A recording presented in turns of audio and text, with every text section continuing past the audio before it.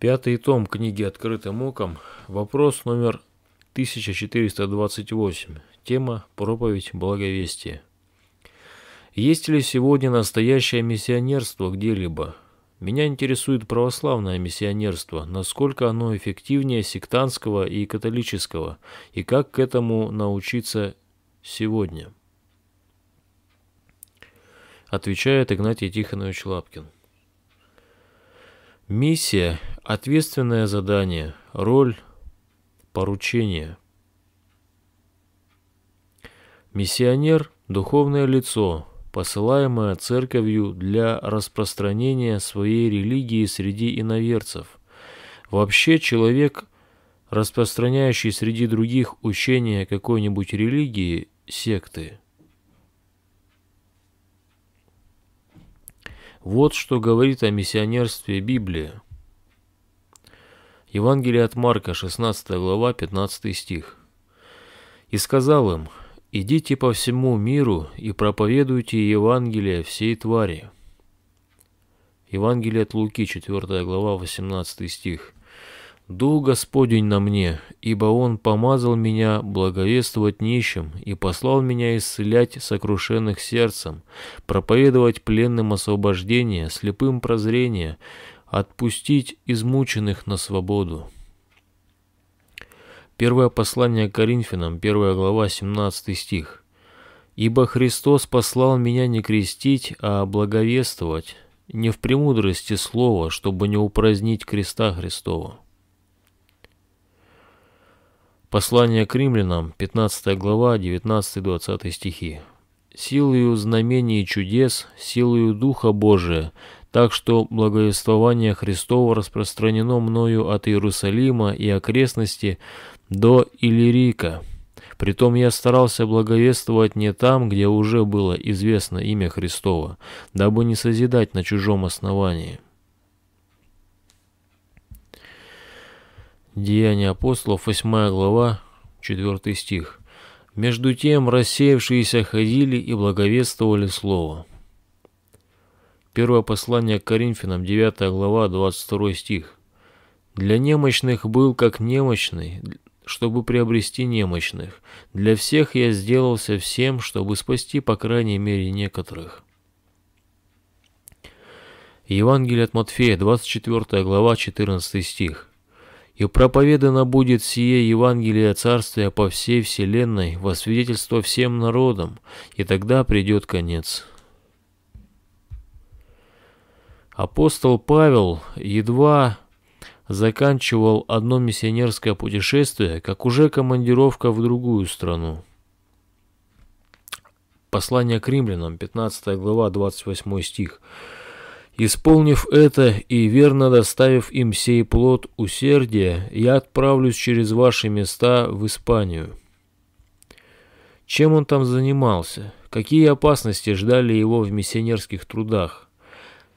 Стремились ли они людей поставить в храмы или у крестов на горе? Или все же несли весть о распятом и воскресшем? Первое послание Коринфянам, 2 глава, 2 стих. «Ибо я рассудил быть у вас не знающим ничего, кроме Иисуса Христа, и притом распятого». Разве этих слов православные игумены и батюшки не читали? Почему же не делают сравнения с Писанием, чтобы во всем уподобляться апостолам? Почему же так и бродят где-то по развалинам, где храм был, какая и какого века архитектура, где какая птичка цвенькнула на молитве рядом, как малые юродивые дети ведут себя. И в вопросе миссионерства необходимо каждый шаг сверять с Писанием, чтобы и других этим путем спасительным вести. А если не по Писанию – Тогда по блевотине измышлений бродят хотя бы наши самоиспеченные пирожки традиций и во рту прихоти таяли. Первое послание Тимофею, 4 глава, 16 стих. «Вникай в себя и в учение, занимайся сим постоянно, ибо так поступая из себя спасешь и слушающих тебя». Можете читать годами сегодняшнюю периодику старообрядческую или новообрядческую патриаршую, или зарубежную, и ни шага, ни вздоха по миссионерству, чтобы точно по указаниям Духа Святого в Библии стремились поступать. Только бы им выдуманные маршруты к бывшей святыне и там прикоснуться и впитать в себя. Здесь же в этом сквозит неприкрытая язычное, оязыченное, опоганенное лжеправославие. Не порошинки нет по Писанию. Им бы только бы провозгласить кого-то, где теперь шатаются, как пьяные святым, пересвятым, пересветом, и съесть кусочек того мужества и вобрать это в себя – Язычество и шаманство под христианской оболочкой и в душистой приправе. Книга пророка Исаии, 19 глава, 14 стих. Господь послал в него дух опьянения, и они ввели в заблуждение во всех делах его, подобно тому, как пьяный бродит по блевотине своей. Ничего не добавляя, воспроизведу из двух публикаций православных и из двух сектантских. И такое вот во всех их изданиях подобное напечатано. Перечитайте несколько раз все вышеуказанные места Священного Писания и сравните, у кого по Писанию, а у кого по традициям, по корням, по преданию и по привычке. Сначала два материала истинно православных. Село Вослев, Восленко. 20 декабря 1999 год года по пути из села Стародуб в Москву посетили село Восленко Каширского района Московской области. Местная жительница рассказала, что здесь была церковь во имя Святой Троицы. Ее закрыли в 1930 году, а сейчас на месте храма яма и поросший кустарник. Сохранился дом последнего настоятеля – Село Восленко живописно расположилось на берегах речки Восленко и протока Матвеевка в 29 верстах от Каширы. В этом селе храм существовал с XVI века. В 1910 году в селе открыли для крестьянских детей церковно-приходскую школу. Приход села состоял из нескольких деревень, Топканова, Маслова, Дубакина и Колзина. В 2000 году на Рождество Христово впервые после долгих лет забвения молились под открытым небом на месте разрушенного Троицкого храма. Для небольшого поселка в несколько домов пришло много людей, человек 10-15. Отрадно, что людские души тянутся к Богу, соскучились по молитве, во время молитвы была тишина, все внимательно слушали, не разговаривали, и даже ветер стих. На девятом часе запела птичка, а точнее пропела две-три нотки и все, тихо. День был морозный, солнечный, но холод, холода никто не чувствовал. От соборной молитвы и, очевидно, благодати, которая разлилась в, этой, в этот великий праздник, было тепло и радостно. После обедницы люди вспоминали, что храм был большой, пятиглавый и красивый. Вторая служба – это ночная пасхальная. Народу собралось человек 25. Было праздничное настроение, люди стояли с зажженными свечами. Большая часть людей, хотя приезжают только на лето, все равно хотели бы видеть возрождение храма либо часовни, ведь корни их тут, в родном селе. На Святую Троицу, престольный праздник, привезли поклонный крест и вычитали часы и обедницу, а потом читали акафисты животворящей Троицы. Людей пришло около 30 человек. На Успение Божией Матери мы молились у поклонного креста, который поставили сами жители в сене деревьев. Необыкновенное чувство благодати и радости. Следующая поездка на введение во храм Пресвятой Богородицы. Народу заметно поубавилось. Пришли несколько старушек с палочками. Но для нас и это радость, что они не забывают, приходят ко кресту помолиться, кто как может. Молитва, теплые встречи с людьми и природа – все это согревает души человеческие. Большая духовная радость от таких поездок, несмотря на трудности и искушения – в селе Восленко Каширского уезда 29 октября 1904 года родилась Просковья Емельяновна, схемонахиня Даниила, старейшая прихожанка Свято-Данилова монастыря. Ее семья помогала даниловцам в трудные 20-е годы, а в 30-е годах у них скрывался архиепископ Феодор – настоятель Данилова монастыря, а также отец Серафим, отец Тихон, отец Стефан, отец Дмитрий и отец Игнатий. В 1942 году Просковью Емельяновну арестовали и осудили на пять лет. Скончалась она в 95-летнем возрасте 25 октября 1999 года. Ее мать тоже была пострижена в монахини с именем Мария. 24 ноября 2002 года иеромонах Амвросий, настоятель храма в селе Стародуб, совершил освящение поклонного креста. Шарапанова Нина, член общины. Берсеневские страницы, номер 5, 2002 год. Издание приходской общины храма святителя Николы на Берсеневке, города Москвы.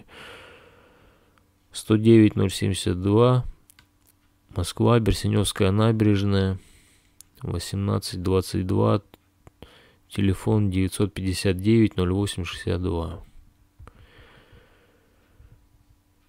Следующая статья. Поездка в Киржач. 30 августа, 30 августа группа прихожан с отцом Кириллом побывала на древней Владимировской земле. По пути остановились в Анискине у церкви Рождества Божией Матери. В этом храме находится редчайшая икона IV века, явление Божией Матери преподобному Сергию. Нужно отметить еще и замечательный иконостас – в древнем русском стиле и гостеприимство служащих в храме. Запомнилась деревня Храпки, дом нашего прихожанина Игоря Ковалева который батюшка осветил, и вечерня в деревне на месте разрушенной часовни в честь покрова Божией Матери. Через много лет здесь э, зазвучала молитва под открытым небом. Какая-то птичка, не умолкая, пела всю службу. На Господе возвах воскурили ладан, и дымом благоухания наполнилось место нашей покаянной молитвы ко Господу за наших предков, порушивших часовню. Необычайное чувство благодарности Господу испытывает сердце в этот момент за возможность помолиться на этом месте. Дача Игоря Ковалева – небольшой деревен... деревенский домик, обшитый внутри деревом, на полу везде ковры. Очень уютно, по-домашнему. Но самое большое укрепление – это радушие хозяйки Анны, его матери – После освящения сели за стол, уставленный яствами и украшенный нашими сестрами Иулией и Тамарой, трудившимися с раннего утра. Пришла соседка Игоря, э, старушка Анна. Она принесла нам пироги, испеченные в русской печи. Пирожки таяли во рту. Рассказала нам простыми, бесхитростными словами о жизни деревни на Владимирщине. О том, как брошена техника, поля не засеиваются, скотины осталось немного, мужики пьют, молодежь тоже спивается самогоном. Встали из-за стола, помолились и пошли в лес. Панорамы, замечательные виды, облака, небо далеко видно. Замечательный сосновый бор. Лес напоминает парк, мягкая стелющаяся трава, как большой зеленый ковер, нигде не видно сухого валежника. Чисто, тихо. Сели на бревнышко, почитали священное писание. Вечером нас ожидала приятная русская баня. Утром рано проснулись и по машинам. Поехали в Благовещенский Киржачский женский монастырь по приглашению настоятельницы Матушки Марии. По дороге Иисусова молитва за полуночницу. На службу попали к шестому часу. Молча разошлись в разные стороны, сестры налево, братья направо. В конце литургии священник, отец Геннадий, произнес глубокую проповедь патриотического направления о детях. Мы были приятно удивлены, узнав из проповеди, что сегодня те заименитства святого праведного Иоанна Кронштадтского, а мы в подарок матушке привезли его портрет. В монастыре нас хорошо встретили, везде были званые гости. По окончании литургии пошли к обрыву берега реки Киржач, увидели чудесную панораму, фотографировались. Настоятельница с большим вниманием встретила батюшку и нас приставила к нам послушницу секретаря Иулию. Тихим повествовательным голосом, с большой любовью к всему святому месту матушки Марии, сестрам которым пришлось положить немало трудов на восстановление храмов, начала свой рассказ Иулия. В истории жизни обители обнаружилось много общего с Берсеневкой, XIV век – Захоронение останков братьев монастыря с восьмиконечным большим деревянным крестом, высокая колокольня, даже своды подвального помещения под храмом одинаковые. Труды, тяга к духовной жизни, общность взглядов на и и иконопись, русское благочестие, не те на те или иные события, проблемы, отказ от ИНН, Родственность душ чувствовалась во всем. Монастырь XIV века, его основал преподобный Сергий Радонежский. Удивительно, что небольшой состав монахини восстанавливает монастырь. Эта светлая благодать разливается на всех. Сколько же было трудов, слез и молитв. Монастырь представляет собой очень интересный архитектурный ансамбль. В храме всех святых Божиих XIX века находился в советское время хлебозавод. Внутри очень сильно обезображен. Больше всего понравился храм Всемилостивого Спаса, где находятся мощи преподобного Романа Киржачского, ученика преподобного Сергия.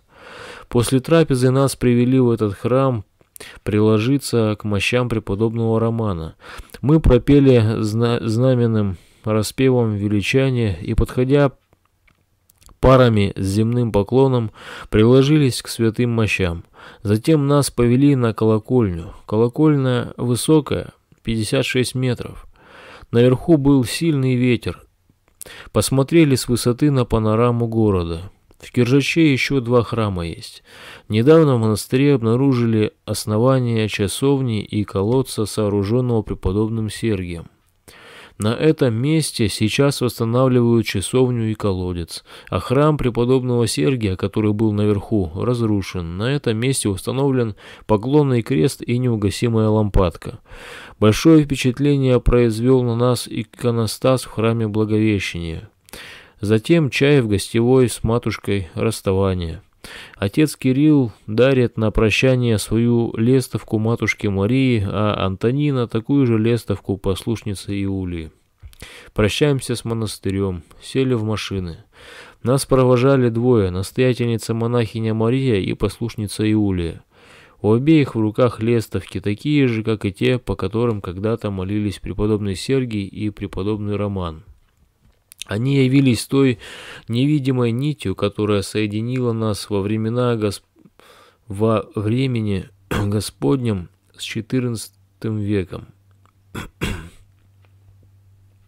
Матушки стояли рядом на фоне высоких въездных ворот монастыря и ждали нашего отъезда. Не хотелось расставаться с ними. Помоги им, Господи и Матерь Божия, их, в их трудах и молитвенных подвигах. Слава Богу за все. Берсеневские страницы, номер 10, 2001 год, отца Кирилла Сахарова. Нужно сравнивать с тем, что говорит Библия, и насколько похоже то читаем у каждого, что читаем у каждого, что они сами о себе пишут.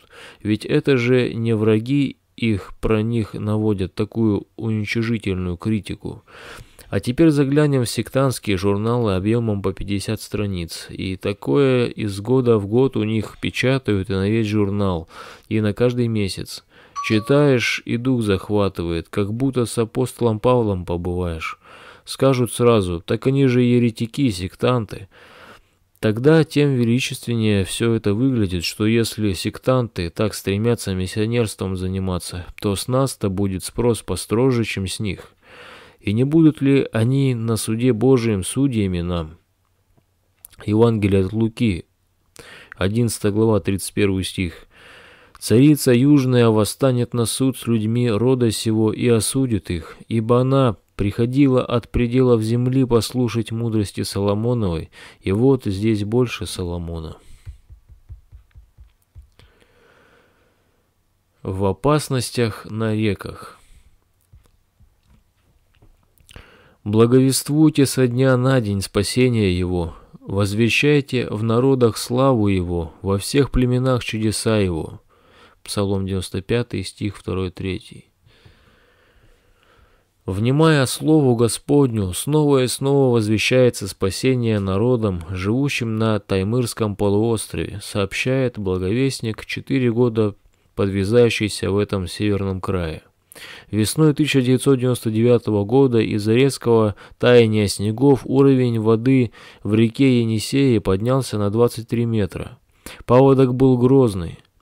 Людей выселяли. В поселке Левинские Пески дома скрылись, дома скрылись под водой по крышу. Сотрудники из Министерства по чрезвычайным ситуациям собирали пострадавших с крыш домов на вертолетах. Радостно было услышать, что уверовавшая женщина, узнав о приближающемся паводке, прежде всего вынесла и спрятала Библию. Ее жилище пострадало меньше всего. А в дом торговца спиртным льдина ударила так, что расколола дом, и вода унесла его, как щепку. За две недели до бедствия группа тружеников благовествовала спасение в Левинских песках, стараясь каждому донести весть, что Господь не хочет смерти грешников. Поселок Караул тоже пострадал от наводнения. В нем живет недавно уверовавший брат. У него нет ни рук, ни ног. Отморозил. Отчаявшись, он решил покончить с жизнью, отравился.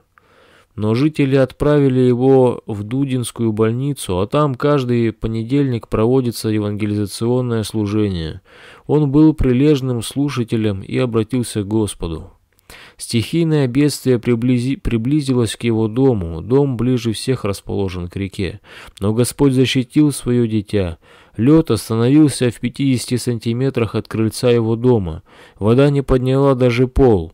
Этим чудом Господь укрепил веру брата, и осенью 1999 года он принял крещение.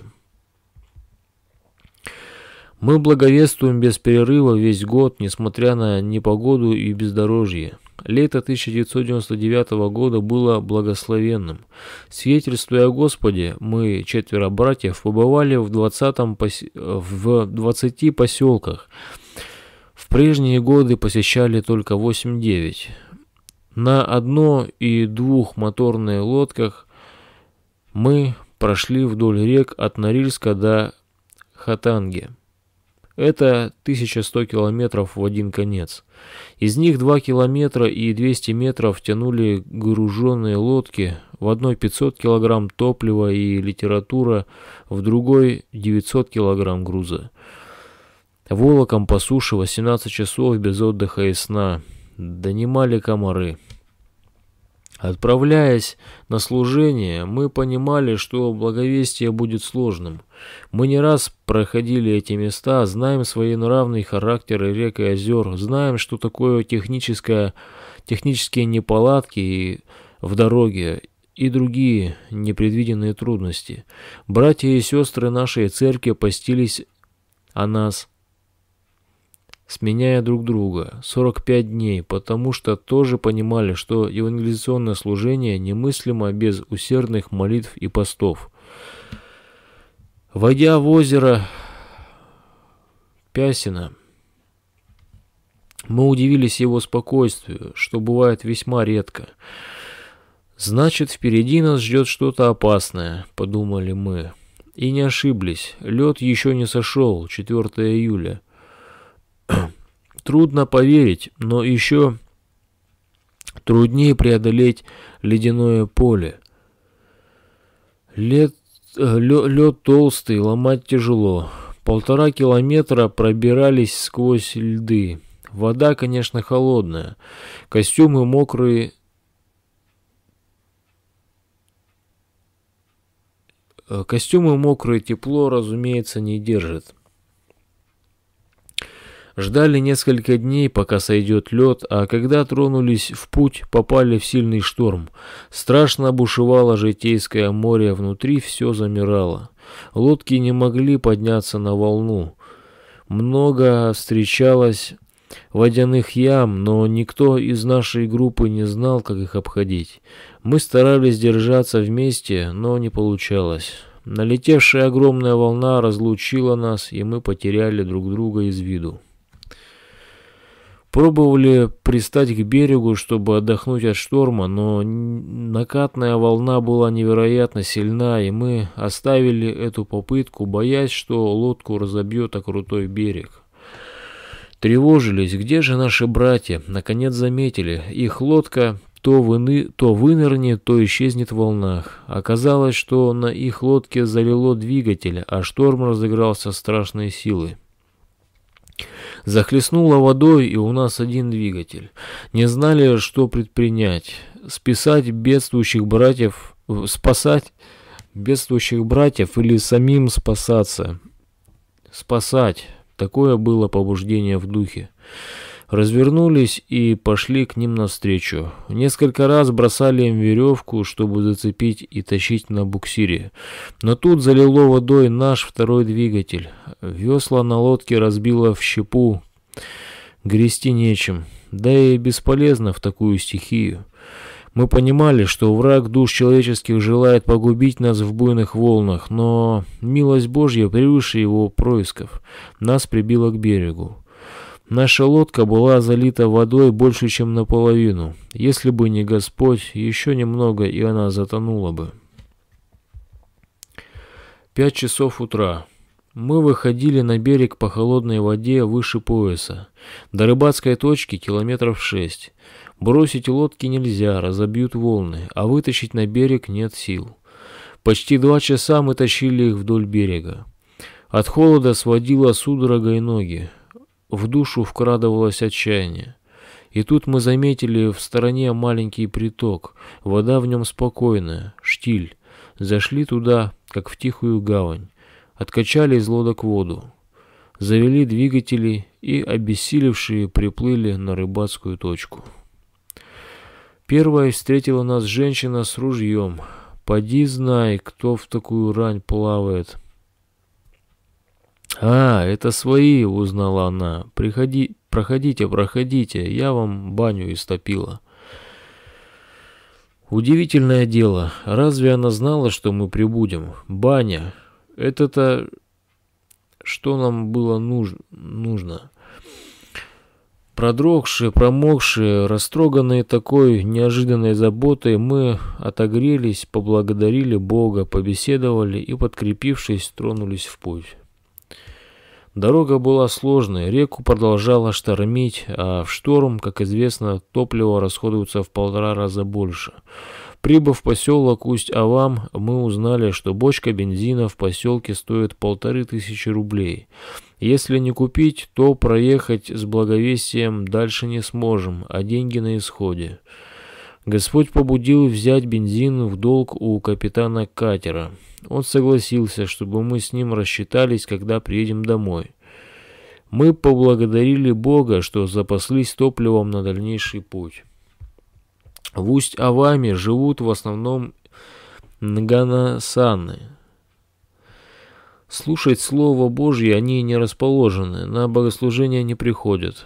Поэтому мы ходили по квартирам, общались с людьми лично. Благовествуя в поселках, мы всегда пребываем в посте. Зашли с братом в дом на окраине поселка. Женщина сразу стала накрывать стол. «Мы кушать не будем, постимся». «А мы будем», поставив на стол спиртное, властно сказала хозяйка. Потом, схватившись, добавила, спохватившись, добавила. «Первонаперво мы должны покормить печку». Понятно, что женщина ошаманила. «Вылейте лучше на улицу», — доброжелательно посоветовал я, не желая, чтобы совершалось это идолослужение.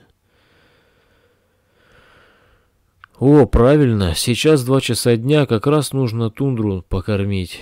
Деловито засуетилась женщина. Насколько осторожно нужно вести себя благовестником, знать, когда и что можно сказать. Для них поклонение тундре оказывается лучше, чем печке.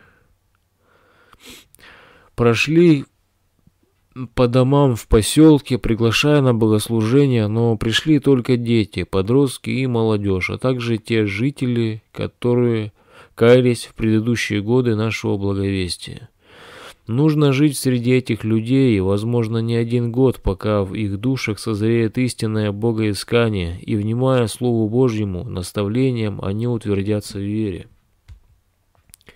Далее благовествовали в поселках Хатангского района, где люди оставлены на выживание. Рыба там никому не нужна, а другие продукты приобрести сложно. Почему в Волочанку ваши проповедники переехали жить, а к нам нет? Потому что нам жить лучше.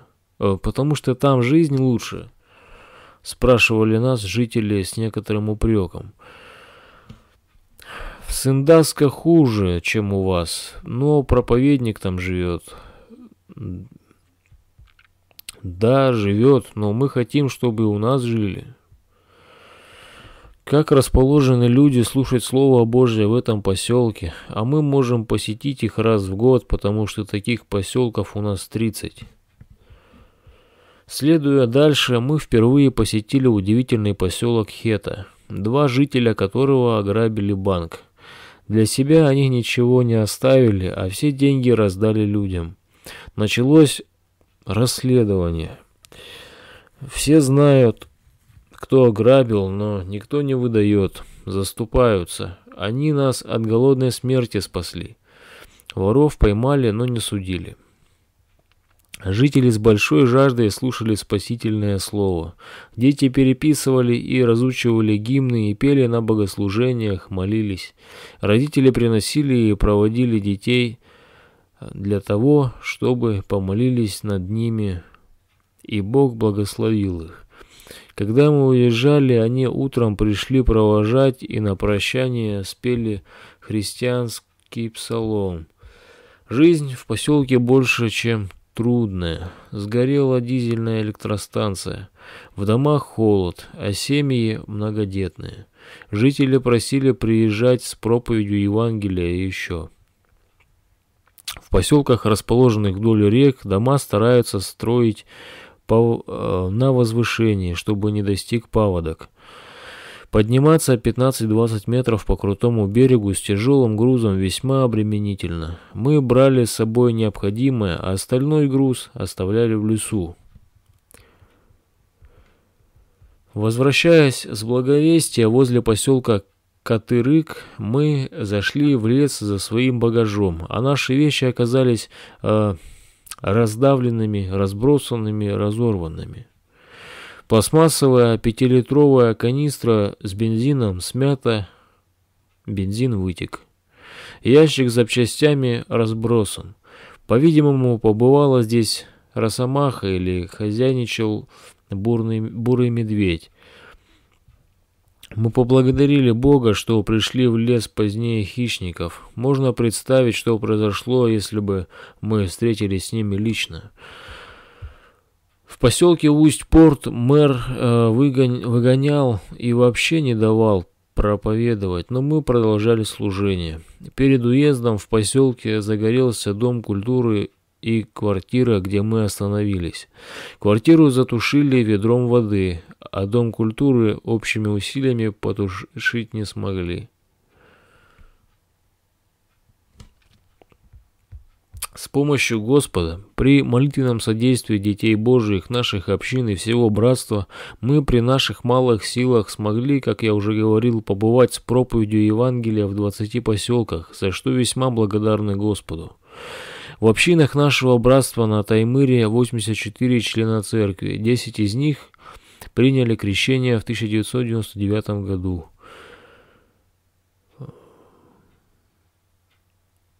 О, Любич. Вестник истины. Духовно-назидательный журнал Союза церквей ЕХБ. Евангельских христиан-баптистов. Номер 2, 2000 год, страница 32, с 32 по 40.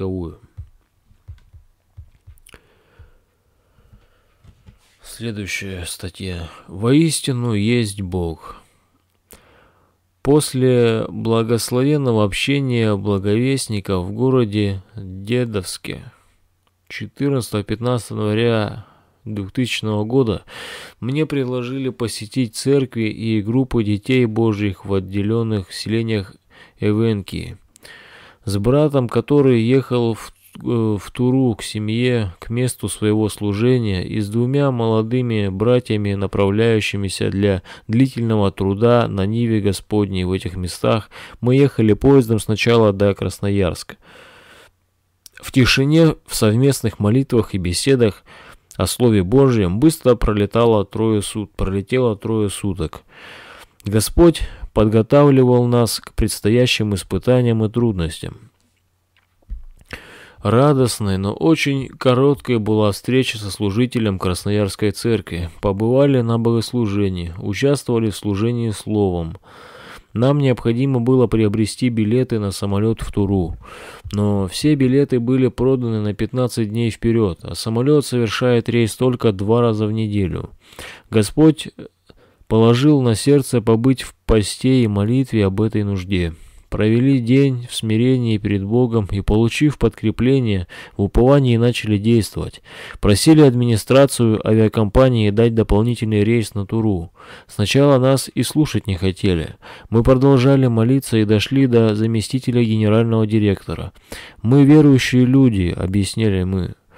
И мы и молились Богу, чтобы дали дополнительный рейс. Рейс назначить не могу, потому что в в Туре нет топлива на обратный полет, беспомощно развел он руками. Желая убедить нас, что мы просим невозможного, он набрал номер телефона туринского авиапредприятия. На звонок ответили сразу. «Можете ли вы заправить самолет дополнительного рейса?» – осведомился он. И, не веря своим ушам, получил положительный ответ – Удивленный и радостный, он поспешно объявил о подготовке дополнительного рейса. Мы подарили ему Евангелие, поблагодарили за заботу и пошли в кассу покупать билеты на, полу на полученный от Господа рейс. Для пассажиров, находящихся в аэропорту, это было хорошим свидетельством о силе Божией. В Туре нас встречали братья. Холод, мороз. Деревья, покрытые огромным слоем колючего иния, стоят, стоят как неживые.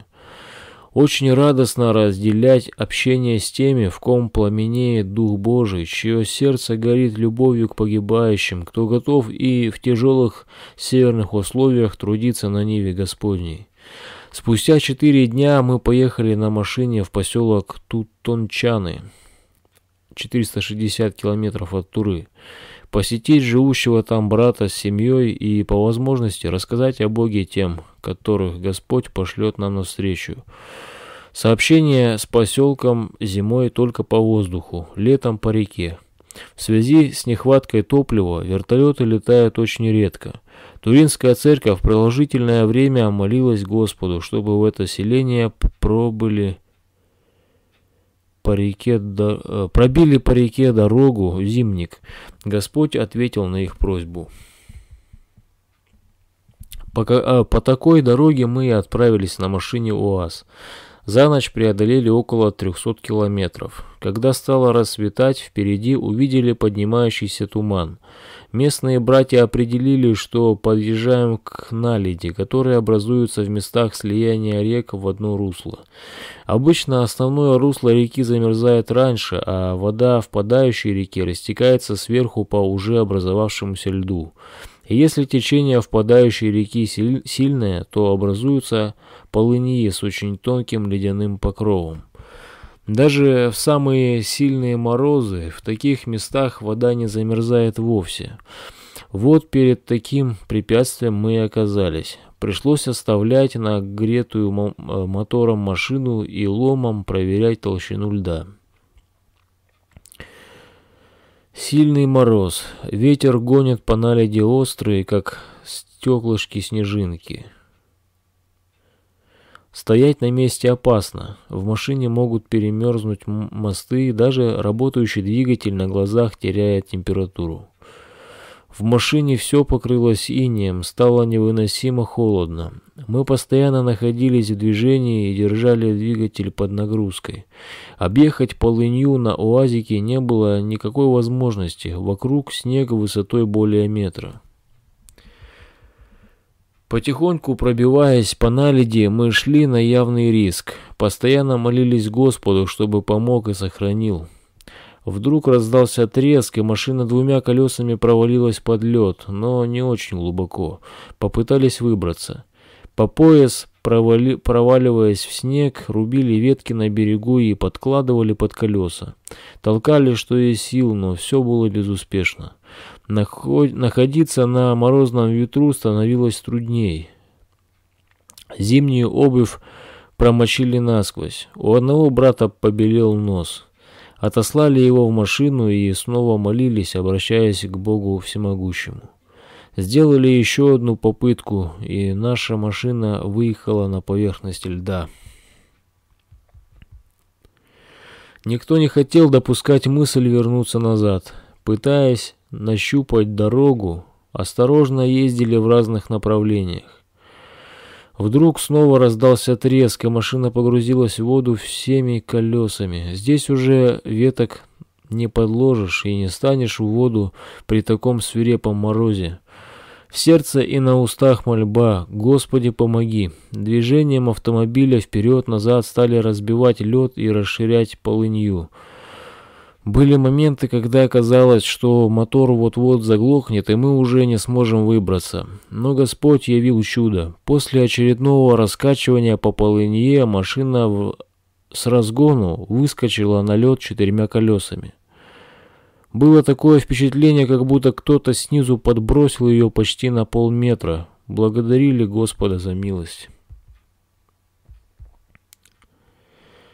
Чем дальше мы продвигались по по наледи, тем тоньше становился лед. В одном месте лед затрещал у меня под ногами, и я, не успев даже испугаться, оказался по пояс в ледяной воде. Братья поспешили на помощь, но я выбрался сам и спрятался от мороза и ветра в машине. Снял промокшую одежду и надел ту, что оставалось в запасе. Пре преодолеть полынью не оставалось никакой надежды. Выбравшись машиной, на более твердый пятачок льда мы стали кружиться на одном месте, ожидая помощи от Господа. День уже клонился к вечеру. Отправляясь в путь, мы читали из Писания, как Господь понудил учеников своих отправиться на лодке на другую сторону. Евангелие от Марка, 6 глава, 45 стих. Мы поняли, что Христос, вопреки желанию учеников, заставил их отправиться в море, чтобы явить чудеса и научить доверять Ему. Господь и нас иногда побуждает идти туда, где можно рассчитывать только на Его помощь, чтобы прославилось Его великое имя. продолжали молиться, прося Господа вывести из трудных обстоятельств. Неожиданно вдалеке засветились огни большой машины. Не доезжая до начала наледи, она свернула в сторону и по снежным заносам пыталась объехать опасный участок. Снег был глубок, и машина повернула в нашу сторону. Проехав с километр на всем ходу, машина провалилась в полынью, откуда без посторонней помощи ей не выбраться. Мы продолжали кружиться на одном месте, ожидая, когда Господь явит нам свою помощь. Внезапно спустило переднее колесо. Пришлось, невзирая на холод, ремонтировать. Резина не выдерживает мороза, и баллоны разрываются изнутри. Пришлось вставить камеру в рубашку и таким образом забортировать колесо. Только закончили эту работу, видим, еще два Урала едут в нашем направлении. Свернув по следу первой машины, оказавшейся в ледяном плену, они занялись ее освобождением. Мы, хотя и с трудностями, но решили по их колее приблизиться к ним. И здесь Господь явил свое чудо. Выезжали из наледей без предварительной разведки. Лед трещал, но мы выехали поблагодарили за благополучный исход и помолились за людей в машине, попавших в полынью. С большим трудом они вытащили ее и стали пробиваться через снег в объезд наледи. Мы попросили взять нас на буксир. Они смотрели на, на нас как на безумцев, но все же не отказали провести через трудный участок. Первая машина пробивала колею в снегу, а вторая на толстом стальном тросе тащила нас почти волоком по глубокой колее. Выбравшись на хорошую дорогу, мы поблагодарили Господа и водителей. Они предупредили, что впереди есть еще участок с наледями. Но, ободренные помощью Господа, мы без сомнения отправились дальше. Были еще нелегкие участки, но их преодолели без особых трудностей. К Тутанчанам подъехали ночью, сто километров за целый день. Не зря братья говорят, что северный отсчет времени другой. Радостной была встреча с братом, трудящимся здесь и его семьей. Для жителей поселка появление УАЗика стало невероятным событием. Один из них сказал, «Воистину есть Бог, на таких машинах никто сюда еще не приезжал». День провели в общении и беседах, а вечером состоялось евангели... евангелизационное собрание. Во второй день на собрание пришло много подростков. Провели с ними беседу об избрании жизненного пути. Как хорошо, когда в начале жизни человек делает правильный выбор и твердо встает на истинный путь служения Богу. На следующий день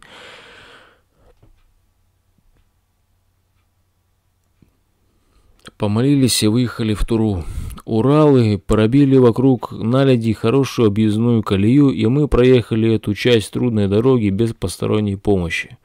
По пути заехали в поселок Учами. Хотя была ночь, мы встретили нескольких жителей и засвидетельствовали им о Боге, подарили Слово Божье. В Туру вернулись к, э, к вечеру следующего дня благодарили Бога, свидетельствовали по местной церкви о всех его милостях.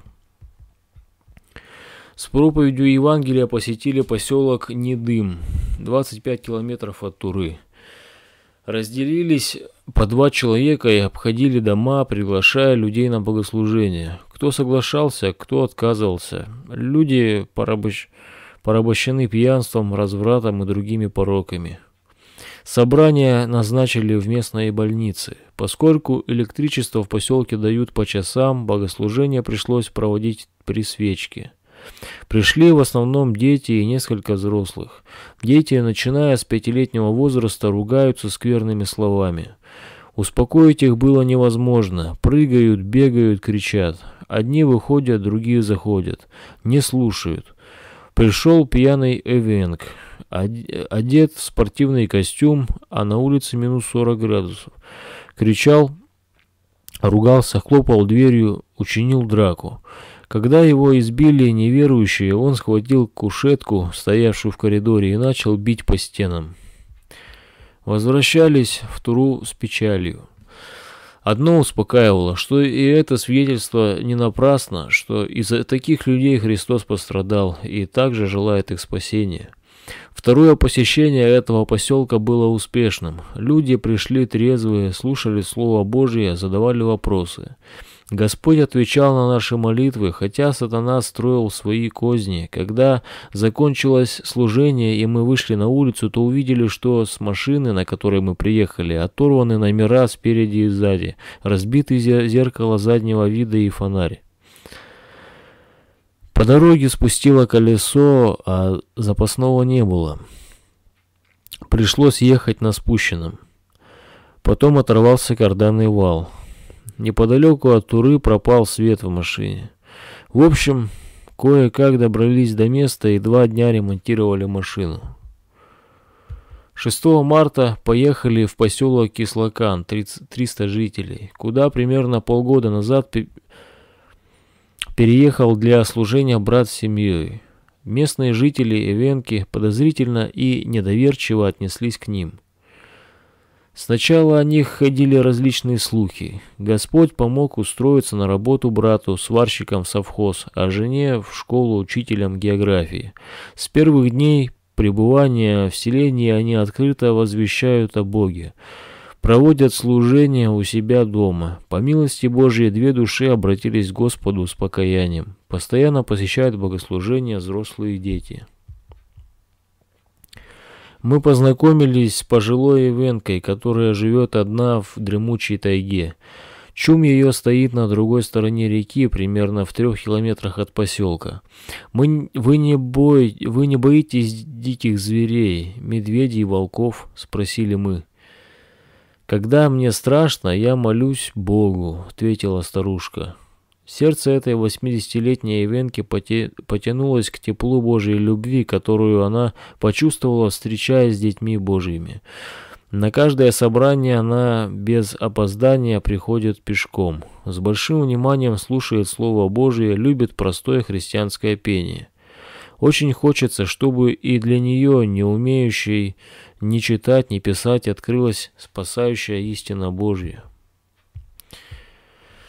В Кислокане мы провели два евангелизационных служения. Господь благословил нас, и снова по зимней дороге с немалыми трудностями возвратились в Туру. 15 марта, побуждаемые Господом, отправились в поселок Ванавару. Выехали из Туры вечером на машине УАЗ по зимнику. Дороги, пробитые по, по рекам из-за раннего потепления очень опасны, но мы надеялись на Господа.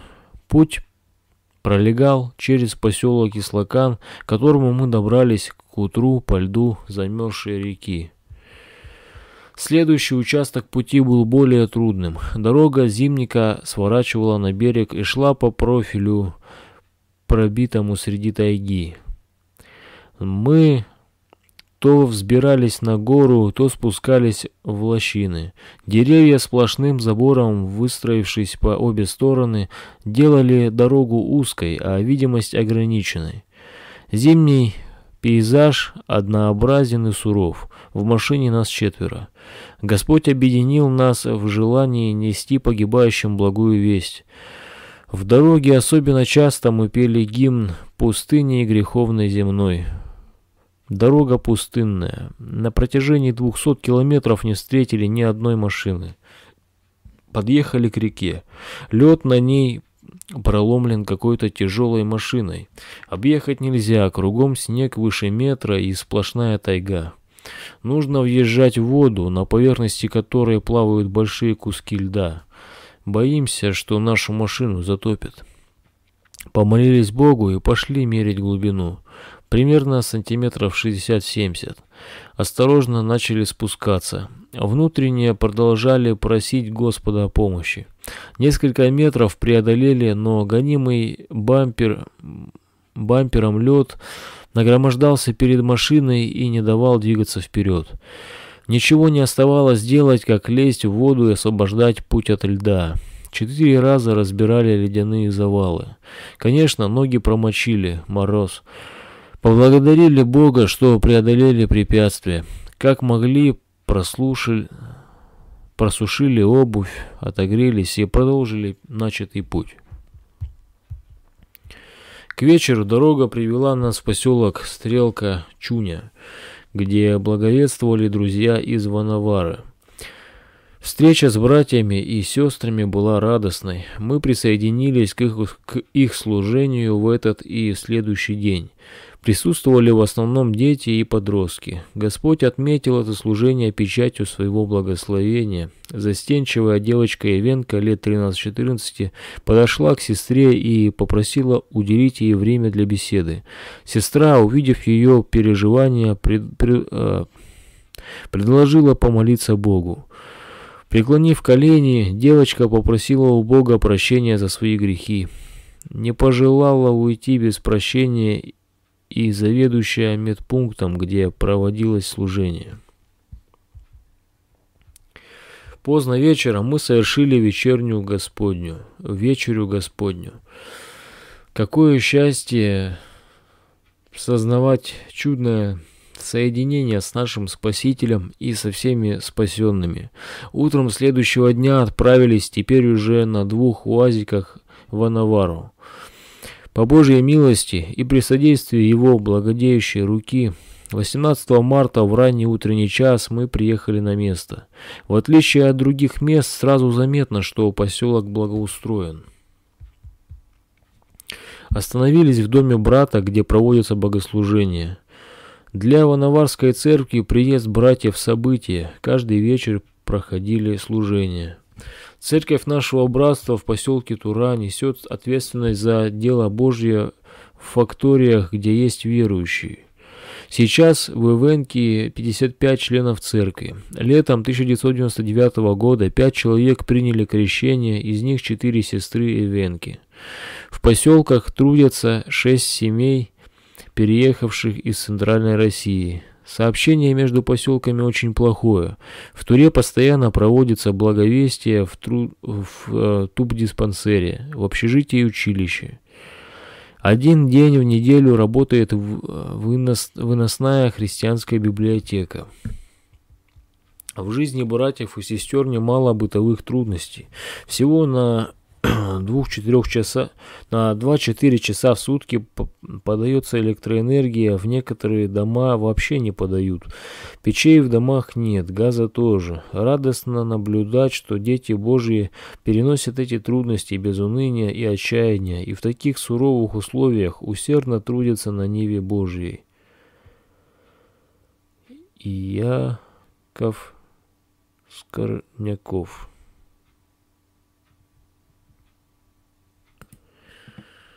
Следующая статья. Свердловская область. Бог называет нас своими детьми и по свидетельству апостола Павла воскресил с ним и посадил на небесах во Христе Иисусе. Послание к Ефесянам, 2 глава, 6 стих. Но пока ангел не вострубил, мы призваны совершать дело Божье на земле, возвещая Его Слово – возвещать и радоваться, что имена наши написаны на небесах, имена недостойных грешников, некогда негодных, а теперь спасенных. Это великое чудо Божье. Эта истина становится особенно близкой во время евангелизационных собраний. Общаясь с неверующими, нам дороже становятся духовные ценности и отвратительнее мирские заботы. В июле этого года прошло благо... благовестие по Нижнесергинскому району. Совершать его помогали дети Божьи из Михайловской общины. Охватили два города Нижние Серги и Михайловск, а также близлежащие поселки и деревни. Расклеивали объявления, но заметили их мало кто читает или вовсе срывают.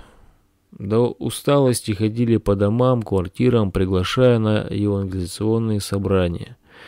Слово воспринималось с большим интересом. В трех местах после благовестия будут проходить постоянные служения по изучению Слова Божьего.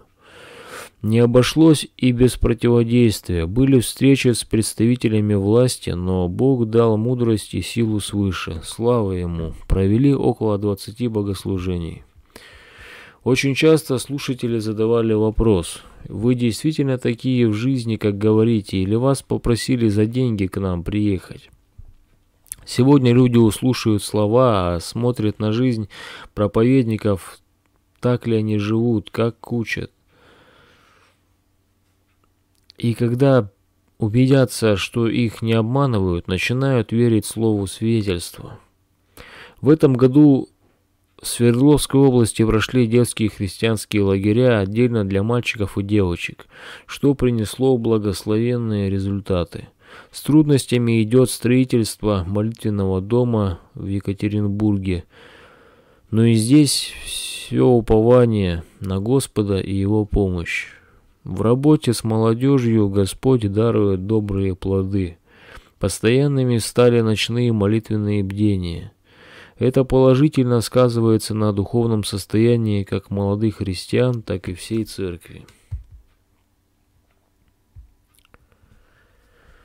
Алтайский край Время неумолимо, отсчитывая минуты и часы, несет нас к завершению земной истории.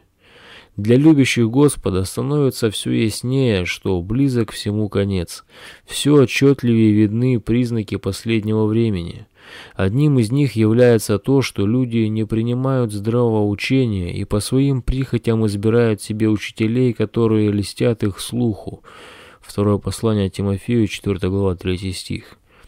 Почему люди отвращают слух от истины? Лучший ответ дает Библия. Потому что они не приняли любви истины для своего спасения. И за сие пошлет им Бог действия заблуждения, так как они будут верить лжи. Второе послание Фессалоникийцам, 2 глава, 10-11 стихи. В том, что народ верит басням, виновен не Бог. Кто отвергает предложенную ему с любовью истину, тот ставит себя в весьма опасное положение. Он остается вне истины и погружается в царство лжи. Бессмертная душа такого человека обречена на бесплодные поиски смысла жизни, на облуждание по бесконечным перепутьям лживой философии. Она становится легкой добычей разного рода учителей, слепых путеводителей, озабоченных только приобретением последователей. Они сами идут дорогой в погибель и увлекают за собой неутвержденные души. Такие мысли были у членов группы благовестия, совершивших служение минувшим летом 2000 года в селе Осямовке Бурлинского района Алтайского края. Шесть дней с 4, с 4 по 9 июля Стояла там евангелизационная палатка. Однако послушать проповедь о спасении мира и Спасителя мира Иисусе Христе приходило человек 15-20. Слушали постор... Э, настороженно, с какой-то опаской, на вопросы отвечали односложно. Трудно было найти с ними хоть какой-то контакт. Дети вели себя более свободно, охотно брали книги в христианской библиотеке, слушали библейские истории и рассказы о жизни верующих, участвовали в детских служениях. Удивителен наш Господь. Его долготерпение и любовь к людям никогда не перестанут изумлять и радовать. Как долго он труд трудится над строптивыми грешниками. Люди сопротивляются, отворачиваются от Бога и даже бегут от Него, а он нежно зовет вновь и вновь. Как хотелось, чтобы грешники не пренебрегли Божьей любовью. Одна женщина уже каялась, когда было благо... благовестие в Бурле, но потом вернулась к прежней греховной жизни и уехала в другое село. Но здесь она снова встретилась с благовествующими. Она побеседовала, они побеседовали с ней, и в, в последующие вечера она приходила в палатку со своими детьми. Велика милость Гос Господа.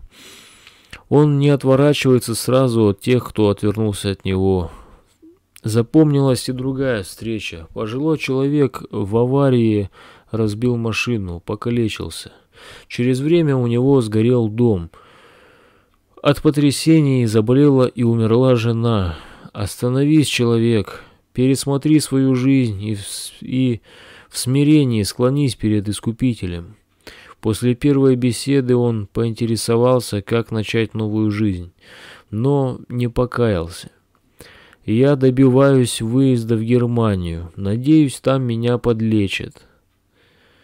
Нет, покой страдающей душе не найти ни в Европе, ни в Америке. Он обретается на Голгофе, и кто отворачивается от голговского страдальца, тот начинает верить басням.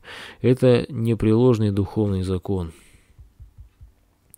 Дважды в палатку приходила директор местной школы. Она препода преподает валеологию. Ее воспитанники удивляют всех в районе необыкновенной закалкой, умением ходить э, по битому стеклу и другими чудесами. Вы не пришли бы в школу рассказать о Боге, а то священник отказался, попросила она проповедников. Благовествующие э, предупредили ее об опасности колдовских методов обучения. На следующий день она пришла до начала служения и откровенно призналась, что, уча других, сама нуждается в том, чтобы кто-либо указал ей правильную дорогу и что нет покоя ее сердцу. «Придите ко мне все труждающиеся и обремененные, и я успокою вас». Евангелие от Матфея, 11 глава, 28 стих. Читали ей и другим слушателям проповедники Слово Божие, полное силы и утешения. Директор школы сидела впереди, слушала. Потом пересела ближе к выходу и через время вышла из палатки и больше не приходила. По окончании благовестия каждое воскресенье в Осямовке проводится служение для желающих слушать Слово Божье. В последнее время, как уже упоминалось выше, люди все больше отвращают свой слух от истины и верят лжи. Это налагает на верующих большую ответственность. Говорить о Господе и не умолкать, и жить так, чтобы для спасения людей было сделано все зависящее от нас.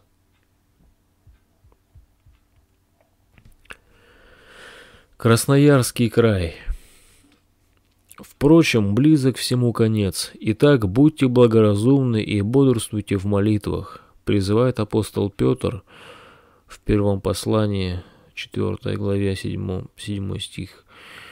Близок конец жизни на земле, а значит, недалек тот час, когда завершится время благодати и окончится проповедь Евангелия. Поэтому детям Божьим нужно поспешать благовествовать. Доколе есть день, приходит ночь, когда никто не может делать. Евангелие от Иоанна, 9 глава, 4 стих. «Ибо кто постыдится меня и моих слов вроде всем прелюбодейном и грешном, того постыдится и Сын Человеческий, когда придет в славе Отца Своего со святыми ангелами». Евангелие от Марка, 8 глава, 38 стих. Кто не успел ревностно подвязаться в деле проповеди Евангелия, чрезмерно отвлекался на земные дела, тому придется отвечать перед Господом жатвы, госп, господином жатвы за то, что не исполнил его поручение. Группа тружеников, прибыв на двух машинах в поселок Вершина Теи, 6 тысяч жителей, встретилась с журналисткой, работницей телевидения. «Вы такое благое дело делаете, я помогу озвучить ваше мероприятие. Вас же что-то побуждало сюда приехать.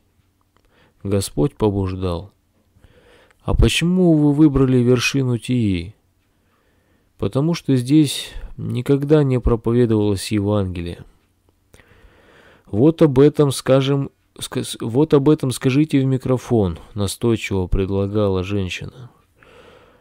Телевидение – это грязный источник. Вы высветите проповедников в таком свете, как вам выгодно. Отказались благовествующие. В поселок по своим делам прибыл работник районной про прокуратуры. В беседе с братьями он пояснил, там, где вы, стан... там, где вы остановились,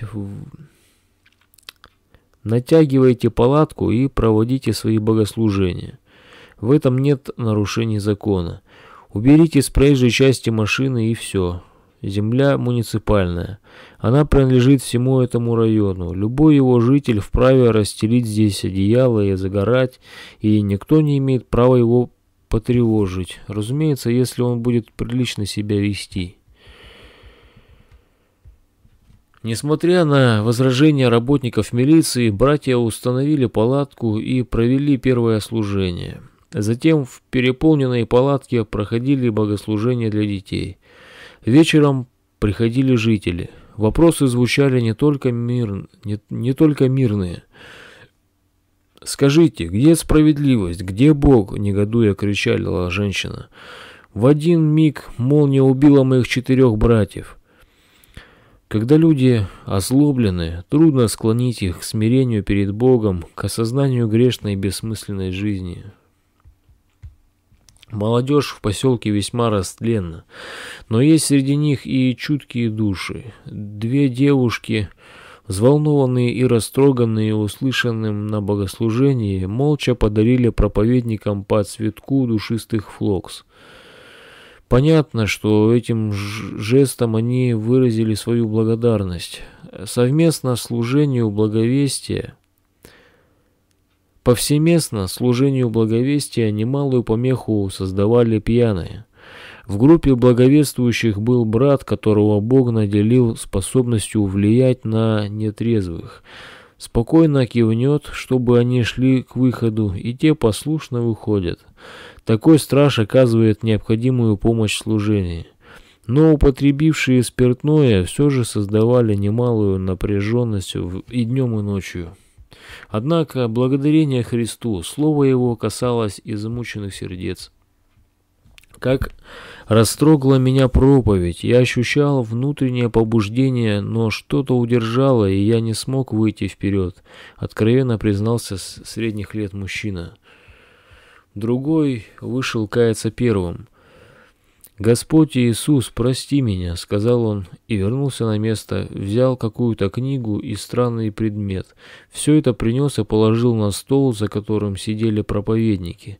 Книга оказалась оккультной, а предмет — безобразный на вид корень неизвестного дерева, по-видимому, тоже был оккультный. Покаявшись, человек добровольно освободился от них. «Как хорошо, что вы приехали. У меня погиб муж, я спиваюсь. Прахом пошло мое высшее образование. Три раза меня вытаскивали из петли. Сын алкоголик. Я хочу изменить свою жизнь. Помогите!» Изливала душу, потерявшая всякую надежду женщина. «Можно с вами поговорить?» – несмело спросил мужчина поздним вечером. Помогите, подскажите, что делать. Жена пьет, без конца занимает деньги. Я работаю только на ее долги. Она разгульная, к детям меня не допускает, плачет. Я не могу без детей, думаю о самоубийстве. Кто услышит крик этих крайне угнетенных душ? Кто поймет их мучения? Кто укажет им на источник утешения? Как нужны здесь вестники Божьи, как прекрасно будет их служение в, кон... в конец отчаявшимся людям, обманутым сатаной. Как велика награда Божья тем, кто явит верность и усердие в малом. Он над многим поставит их. В километрах в сорока от вершины Тии расположен поселок Бескамжа где благовествующие встретили совершенно иную обстановку. Никто не чинил препятствий. Палатку установить, пожалуйста. Электричество подключить, нет проблем. Созданы все условия, а люди не идут слушать Евангелие. Скорбью наполнилось сердце благовествующих. Никто не был рад этому мертвому спокойствию. Пусть бы нас теснили со всех сторон, только бы люди приходили в палатку, искренне молились труженики. На второй и третий день благовестия лед тронулся, люди заинтересовались проповедуемым словом. Но тот, кто ходит, как рыкающий лев, э, ища кого поглотить, проявил всю свою ненависть. На заключительном служении во время призыва к покаянию в палатку вошел пьяный полураздетый человек. «Здравствуйте, я целый километр шел к вам». С кулаками приступил он к проповеднику. «Я жену бил, она ушла. Я друзей бью, они от меня отказались. Я злой, я бы и тебя сейчас избил». Шумит, а четверо слушателей вышли с покаянием. Какая помеха врага душ человеческих. В общем, жители Бескомжи так и остаются глухими сердцем. Те немногие, кто устремляются к истине, переписываются с верующими города Абакана. Поселок Берегчуль протяженностью 11 километров расположен в ущелье между гор. Братья проехали по нему с громкоговорителем, всех приглашая послушать Слово Божье. На детское служение с удовольствием пришли 50 детей, а взрослых вечером пришло мало. Видимо, когда с людьми беседуют непосредственно, приглашают их лично, отношения складываются доверительней, доброжелательней. Пригласили на собрание старичка, а он... «Вы к старушке моей проедите, с ней поговорите». Пошли. Она парализована. Предложили ей трактат. Взяла. Стали беседовать. Она словно опомнилась. «Так вы верующие?» «Да». «А я думала, вы агитируете, за кого голосовать. Тогда возьмите», — возвращает трактат. «Он мне не нужен». В поселке Шалаболино живут брат и сестра, члены церкви в Курагино. Группа тружеников, 11 братьев и 6 сестер, проезжая по селу, обращалась через громкоговоритель. Уважаемые жители села, вас посетила группа верующих, которые желают провести у вас богослужение. Оно будет проходить в центре села в такое-то время. Библия говорит говорит, что мы, мы живем в последнее время, когда будет проповедано Евангелие по всему лицу земли. Сегодня Слово Божье достигло вашего далекого села. Приходите послушать самую важную весть. Наступит время, когда люди будут ходить от моря до моря в поисках Слова Гос... Господнего и не найдут. Сегодня это Слово еще проповедуется. В, в палатке на вечернем служении разместилось около 70 человек. Многие стояли на улице, а к концу собрания людей подошло еще больше. В село Щетинкино пришлось 40 километров ехать по бездорожью, где проходят только огромные белазы. Они из карьера возят щебень, а машина, на которой ехали благовествующие, небольшая, ниже, коле... ниже колеса Белаза. Доехали до спуска в карьер, а дальше таежная дорога. Даже не пытайтесь, отговаривали бывалые шофера, не проедете. Что делать? Не возвращаться же? И братья поехали. До Щетинкина оставалось 12 километров, когда машину засосало в глубокую рытвину с илом на дне. Два с половиной часа ее откапывали, толкали бесполезно. Далеко в тайге послышался гул, а потом появился окрас. Разминуться невозможно. Несколькими крепкими рывками он вытянул машину, но метрах в тридцати их ожидала такая же западня. Проведите, маш... э, проведите нашу машину еще и через этот опасный участок, попросили братья. Что это у вас за туризм по грязи и ямам? Поинтересовался шофер. Мы верующие и едем в село рассказать людям о Боге. Проедем мы дальше. «Для этого дела вы проедете», — ободрил шофер. «Вы совершили ошибку, объезжая выбоину по краю», — доброжелательно разъяснил, разъяснял он. «Везде, где есть подобные места, проезжайте прямо по центру и не застрянете». Как оказалось, дно иных ям было услано большими камнями. Машины скрежечут, мнут о них днище. У второй нашей машины разорвало камни чехол, вымыло смазку, пришлось брать ее на буксир. При въезде на мост, составленный из двух кузовов БелАЗа, была высокая колея из глины, сантиметров пятьдесят. Если войти в нее, застрянешь. Брат-шофер направил машину рядом с колеей, и она пошла под откос, а внизу ручей. Чтобы предотвратить падение, машину остановили и ни назад, ни вперед. Братья не отчаялись. Переоделись, стали искать бревна, шпалы, чтобы под, поддомкратить машину. И тут подъехали мотоциклисты. Здесь нельзя было ехать, объясняют. Нужно было рядом с мостом. Попробовали проехать. Глубоко и страшно. Машина дизельная, нельзя, чтобы в воздухоочиститель попала вода. Два часа мучились, пытаясь поднять машину. Припекло солнце, машкара ест, и оводы на лету впиваются. Чем жарче становилось, тем немилосерднее они жалели. Попросили проезжающего мотоциклиста помочь. «Не раньше часа», — буркнул он и умчался. И действительно, через время появился мощный, как танк, трактор, зацепил машину и выдернул. Провел через следующие ямы, разгрейдировал дорогу по мосту. Дальше благовествующие с трудом поднялись в гору, на которой ливнем вымыло камни. По этой дороге можно было только идти пешком или на машинах с высокими колесами. Но братья все же пробирались.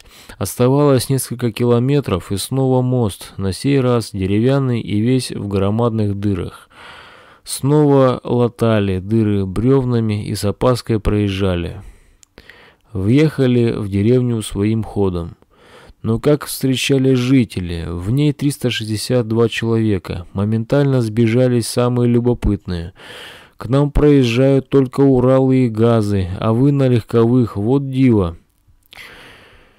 «Где центр села?» – спросили первую встречную женщину, в руках у которой была стопка журналов «Сторожевая башня», издание религиозного течения свидетелей Иеговы.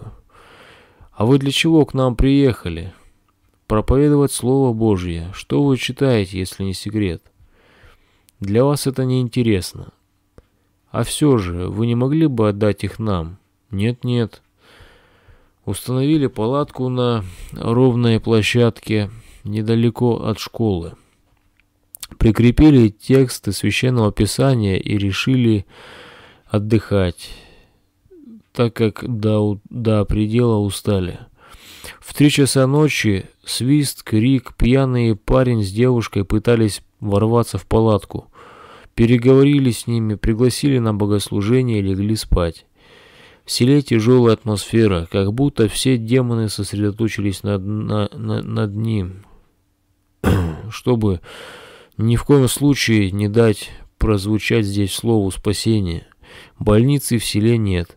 Бедность продукты не завозят, хотя спиртное всегда есть.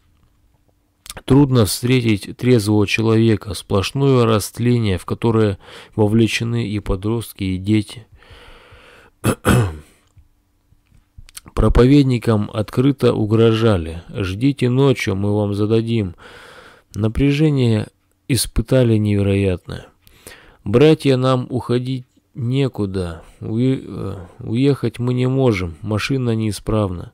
Нам нужно, положившись на Господа, оставаться. Ободряли друж... дру... труженики друг друга.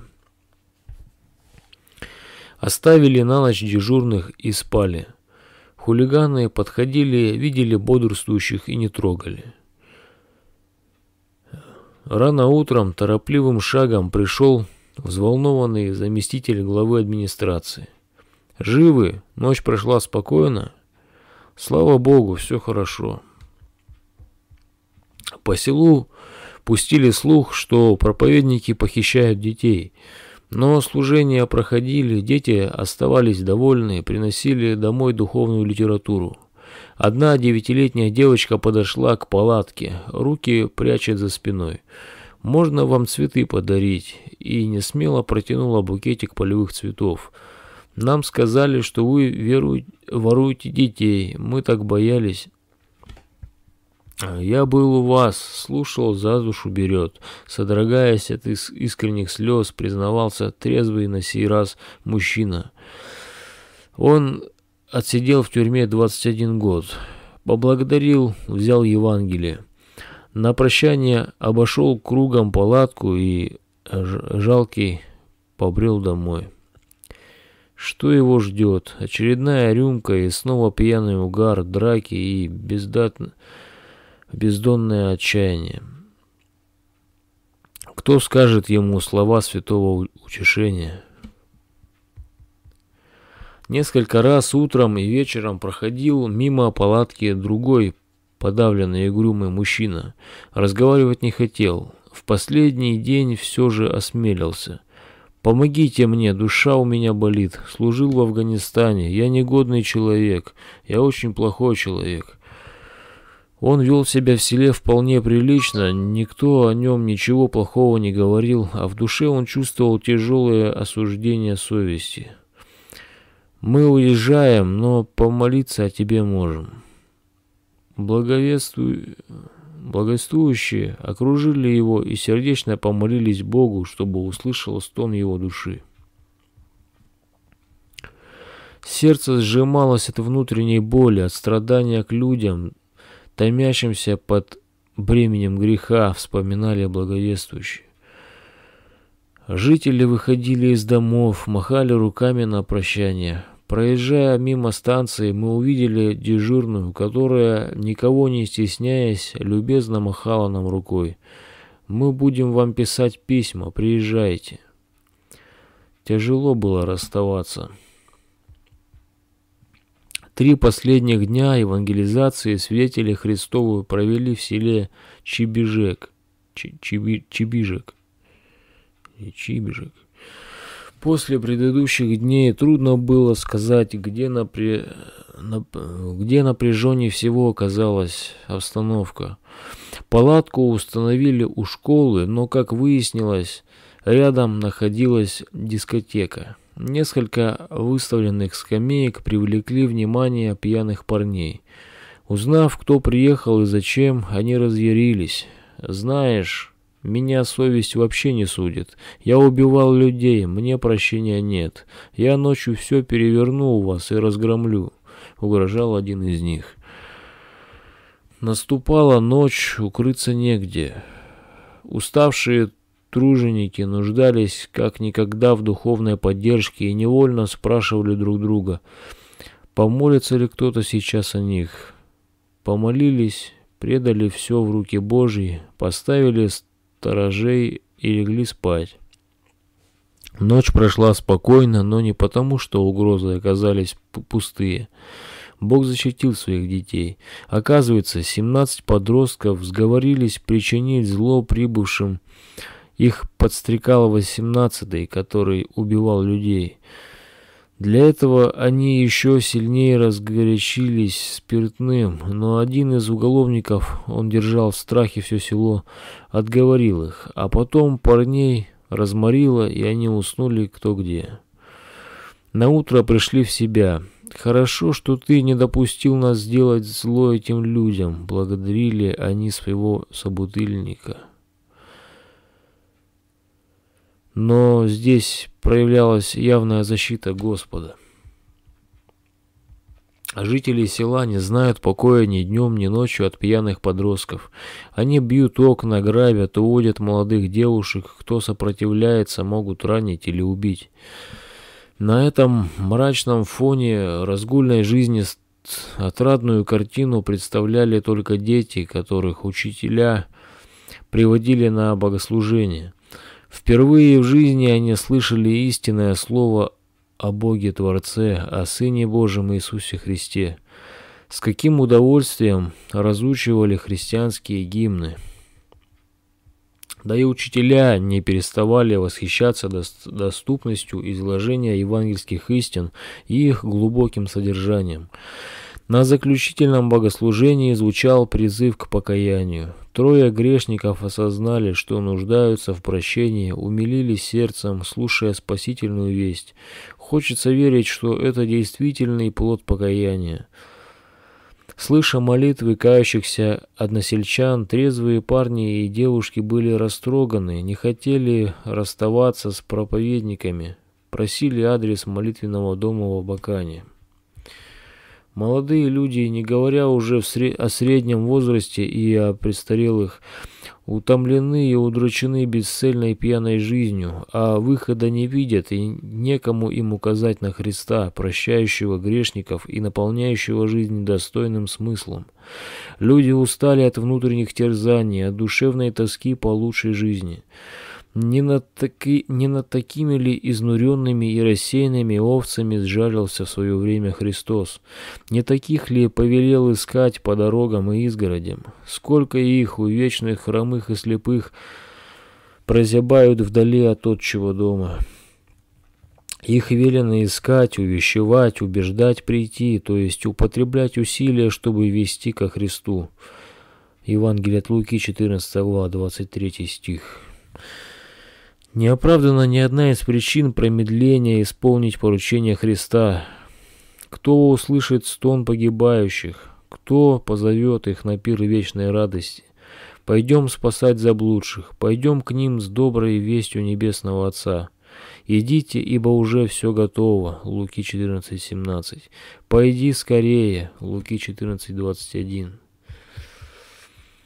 На севере до середины августа длится полярный день. Ночью светло так же, как и днем. За короткое полярное лето цветы, бывает, вырастают в человеческий рост.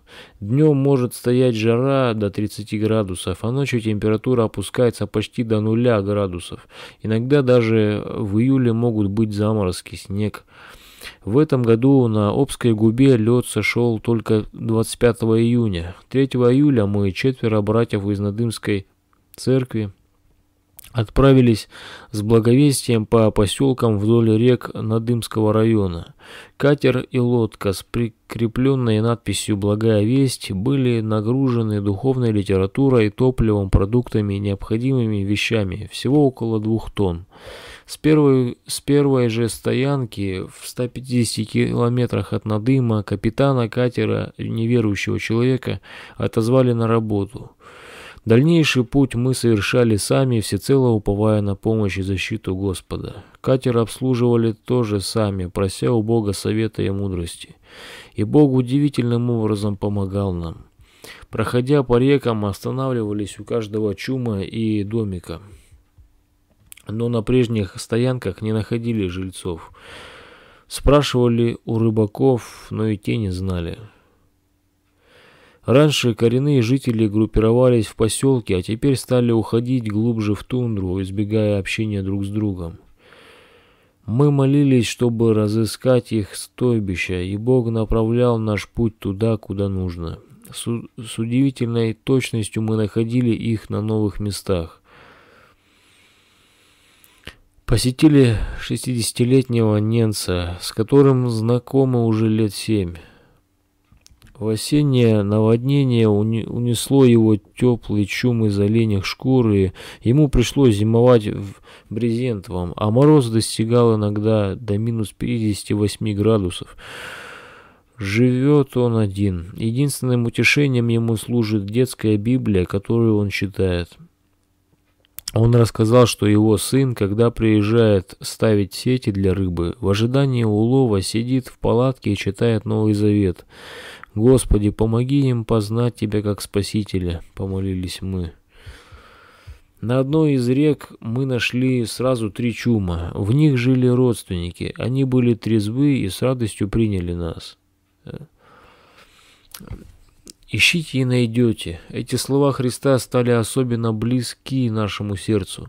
Мы радовались, когда находили то один, то другой чум, чтобы засвидетельствовать о Господе новым людям. Особенно приятно проповедовать о Христе детям. Бескорыстные детские сердца с радостью принимают Слово Божье. Среди ненецких детей много сирот, родители которых или погибли, или утонули. Кое-кого из сирот приютили родственники. Мы молимся о них постоянно, потому что никому о них ходатайство... некому о них ходатайствовать перед Богом. Дети, получая от нас христианские книги, несли их в чумы и заинтересов... Э, заинтересовывали взрослых. Намереваясь плыть дальше, мы попали в маленькую реку. Издали, увидев моторную лодку, мы подумали, что люди отдыхают или ловят рыбу, но, подойдя поближе, заметили, что находящиеся в ней взволнованы и просят нас остановиться. Оказывается, они заблудились и долгое время не могли найти нужную дорогу. Со слезами радости они приняли Слово Божье, христианские трактаты, мы нарисовали им план пути и посоветовали, если вы все-таки не найдете дорогу, молитесь живому Богу, Он вам поможет. Они сердечно благодарили нас, а мы, попрощавшись, благодарили Бога за то, что могли засвидетельствовать о Господе, попавшем в беду людям. Мы не намеревались плыть по этой речке и поняли, что сам Бог направил нас к заблудившимся. Затем посетили пожилую уверовавшую ненку, которая не понимает по-русски. В скромном ее жилище не нашлось даже табуретки, чтобы присесть. Брат читал Слово Божье, а брат-ненец переводил. Вначале лицо сестры было печальным, но, услышав слово «Христос», она просияла и стала радостно повторять «Христос, Христос». Помолившись об этой одинокой сестре, мы передали ее в руки Божьи, чтобы Он сохранил ее в уповании до конца, и она не изнемогла в вере. Э, подойдя к одному из заброшенных поселков, мы увидели стоящий на мели катер с, с нефтеналивной баржей. Капитан попросил стащить судно в воду. Мы совершенно не знали, как это делать, но, надеясь на милость Божию, согласились помочь и с большим трудом сняли, с большим трудом сняли его с мели. Благодарный капитан пригласил нас в каюту и рассказал о пережитом. В Обской губе я попал в такой шторм, какого мне не доводилось еще видеть. Отказал двигатель, и катер стал неуправляем посылал сигналы бедствия, но проходящий теплоход, спасая жизни, жизнь своих пассажиров, отказался помочь. Тогда я начал не просто молиться, а кричать к Богу, и Бог послал небольшое судно, которое вывело нас из стихии. Мы подарили ему Слово Божье, много беседовали, радуясь тому, что он знает скоро помощник, скорого помощника в бедах. Встретившись с капитаном другого катера, мы, желая засвидетельствовать ему о Христе, спросили, «Как вы относитесь к Богу?» Когда мой катер сел на мель, я молился Богу. Никто мне не мог помочь, я был совершенно один. Три раза я выходил на палубу, становился на колени и просил, «Боже, пошли ветер, чтобы пришли, чтобы пришла вода». Через трое суток подул сильный ветер, пришла вода, и я отправился в дальнейший путь. Для нас было большой радостью слышать, что люди, кажется, совершенно не знающие Бога, в трудных обстоятельствах взывают к Нему, и Он слышит их. Мы же снова и снова благодарили Бога за встречу с людьми, за возможность объяснить им путь Господень и подарить Слово Божие. На пути и у нас было много опасностей. Приходилось плыть ночью по узкой реке в густом тумане.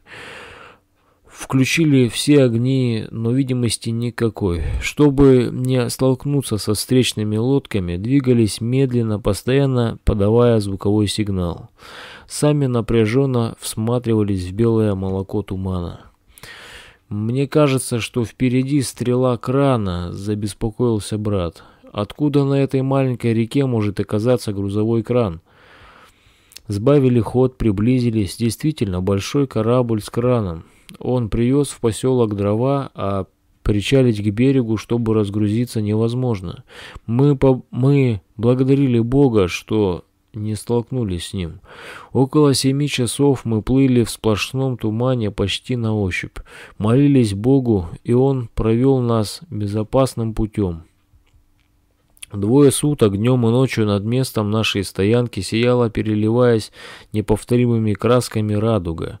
От одного берега на другой был словно перекинут мост, который живо напоминал нам о непреложном Божьем обетовании, данном впервые Ною. Я полагаю радугу мою в облаке, чтобы она была знамением завета между мною и между землею. Бытие 9.13 и для нас радуга была свидетельством того, что Бог с нами. Это ободряло нас в служении и благовествовании в этом суровом северном крае. Каждый день мы поименно молились о тех, с кем Бог даровал нам встречу, чтобы они, приняв от нас в подарок Слово Господне, читали его и приближались к Богу. Были и те, которые не брали христианские книги и отказывались слушать о Господе. Мы молились и о них, чтобы Бог нашел дорогу к их сердцу. За время благовестия в тундре мы встречались с рыбаками и оленеводами, ненцами, коми, изредка хантами. Коми ведут оседлый образ, оседлый образ жизни. С удовольствием слушают о Боге, но остаются приверженцами мертвой религиозности. В этой евангелизационной поездке мы заметили, что знакомые нам ненцы охотнее принимали свидетельства о Христе от новых людей. С нами в этот раз был брат-ненец, которого они видели впервые. Вот так по одному человеку, по два, кое-где и больше, живут в отдельных тундровых поселках и одиноких чумах ненцы, которые полюбили Иисуса, понуждались в спасении. О них нужно не только молиться, но и постоянно посещать их, оказывая духовную и материальную помощь, так как они живут в проголодь, пытаясь одной, питаясь одной рыбой. Вяленую, несоленую рыбу они едят вместо хлеба. Служение Богу – это всегда жертва. Уезжая на, благо... на благовестие, один из наших братьев оставил дома жену с двумя детьми, один из которых нуждался в госпитализации, а второго не с кем оставить. Заменить брата было некому. Помолившись, он утвердился в том, что дело благовестия оставлять нельзя, и отправился в путь. А когда вернулся, жена светилась радостной улыбкой. В первую же ночь после твоего уезда дети крепко спали, а на утро началось выздоровление. Иоанна Крестителя, когда он совершал служение, спросили, «Кто же ты? Что ты скажешь о себе самом?» Он сказал, «Я глаз вопиющего в пустыне». Евангелие от Иоанна, 1 глава, 22-23 стихи. Сегодня этот вопрос стоит перед каждым христианином. Что мы скажем о себе, о своем служении?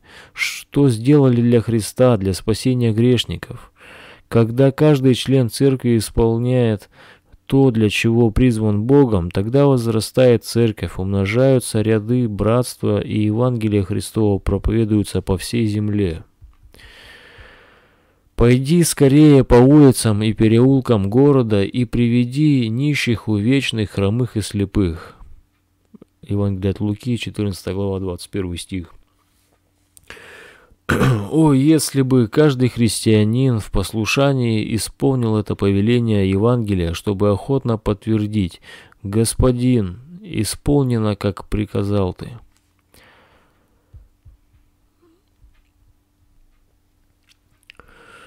Следующая статья. Исполнить волю Божью.